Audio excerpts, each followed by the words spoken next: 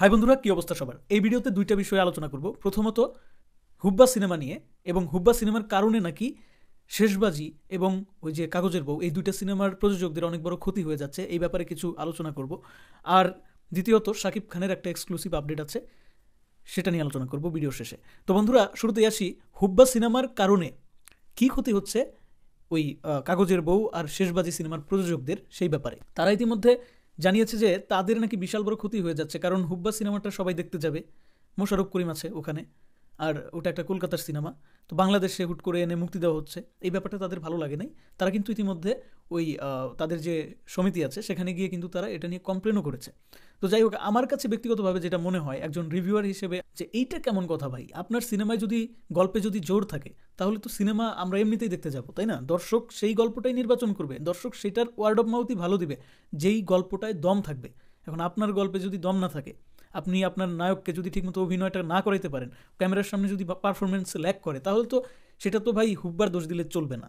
এখন কথা হচ্ছে যে, তাদের বক্তব্য শুনে মনে হলো যে, হুব্বা সিনেমার ভয়ে তারা একদম কুকরে মুকরে গেছে, ঠিক আছে? এমনিতেই দর্শক হলে যায় না, যাবে না। হুব্বাও যে একদম আহামরি কিছু হয়ে যাবে, একদম সুপার ডুপার হিট করবে, এরকম কিছু কিন্তু হবে না বাংলাদেশে, ঠিক আছে? অ্যাভারেজ একটা দর্শক হুব্বা দেখতে যাবে।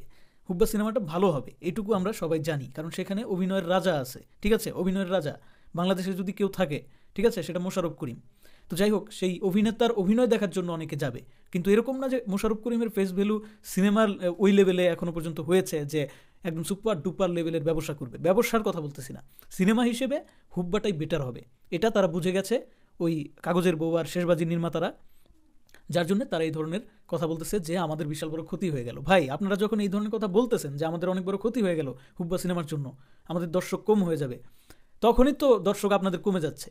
আপনারা এই ধরনের কথা বলতেছেন মানেই আপনাদের মধ্যে কনফিডেন্ট নেই, দর্শকরা কিন্তু আপনাদের এই কথা শুনতেছে, দেখতেছে অনলাইন পোর্টালগুলোতে তো এতে করে নিজেরাই নিজেদের ক্ষতি করতেছেন। আপনারা যদি কনফিডেন্টের সাথে বলতে পারতেন যে না, আমাদের সিনেমার দম আছে, হুব্বার মতো দশটা হুব্বা আসলেও আমাদের সিনেমাকে কাবু করতে পারবে না। এইটুকু যদি কনফিডেন্ট ভিতরে থাকতো, আর আসলে যদি এরকম কাজ আপনারা করে থাকতেন, ঠিক আছে? তাহলে ভাই এই হুব্বার জন্য আপনাদের সমস্যা হওয়ার কথা ছিল না।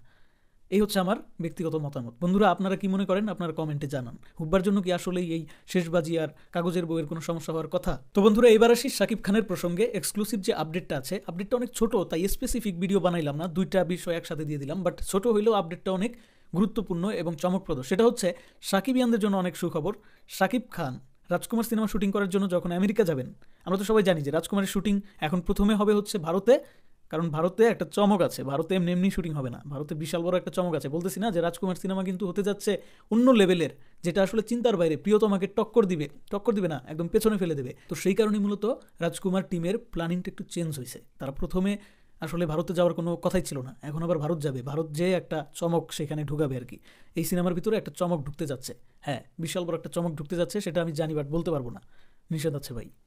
যাই হোক, আমি বলি, যেটা বলতে চাচ্ছি, যে রাজকুমার সিনেমা শুটিং করার জন্য যখন ভারত থেকে আমেরিকাতে যাবে শাকিব খান, সেখানে গিয়ে যে শুধুমাত্র রাজকুমার সিনেমা শুটিং করবে, সেটা না, রাজকুমার সিনেমার পাশাপাশি আরও দুইটা কাজ করবে। না, কোনো সিনেমার কাজ না, বন্ধুরা, সিনেমার কাজ না, বিজ্ঞাপন চিত্রের কাজ। হ্যাঁ বিজ্ঞাপন চিত্রের কাজ করবে, দুই দুইটা বিজ্ঞাপনের কাজ করবে শাকিব খান। এখন কোন কোম্পানির সাথে তার এই চুক্তি হয়েছে, কাদের সাথে বিজ্ঞাপনের কাজ করতে যাচ্ছে, এই ব্যাপারে আসলে জানা যায় নাই বাট আমি যেটা অনুমান করতেছি সেটা হচ্ছে যে মনে হয় এসএমসির ওরসেলাইনের বিজ্ঞাপন একটা হইতে পারে। এখন এটাও আবার হান্ড্রেড পার্সেন্ট বলা যাইতেছে না, কারণ এসএমসির ওরসেলাইনের বিজ্ঞাপন ওই দেশে, ওই আমেরিকাতে গিয়ে করবে কেন? বাংলাদেশেই তো করতে পারে। আরেকটা মনে হচ্ছে যে বাংলা লিঙ্কের বাট বাংলা লিঙ্কের ক্ষেত্রে ওই একই কথা। যে বাংলা লিঙ্কের বিজ্ঞাপন আমেরিকাতে যা করবে কেন? বাংলাদেশেই তো তারা সেট নির্মাণের মাধ্যমে করতে পারে বাট এটাও একটা বড় কথা যে শাকিব খানের যে একটা সময়, সেটাও তো বের করতে হবে। সময় সীমাই তো নাই, বর্তমানে তো শাকিব খান হ্যাভি ব্যস্ত।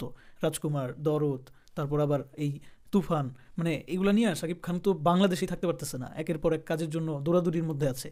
তো হতে পারে বাট আমি জানি না স্পেসিফিকভাবে এর জন্য বলতে পারতেছি না। এটা শিওর যে দুইটা বিজ্ঞাপনের কাজ হবে, এবং খুব শীঘ্রই শাকিব খানকে তোমরা টিভি চ্যানেলের বিজ্ঞাপনে দেখতে পারবে।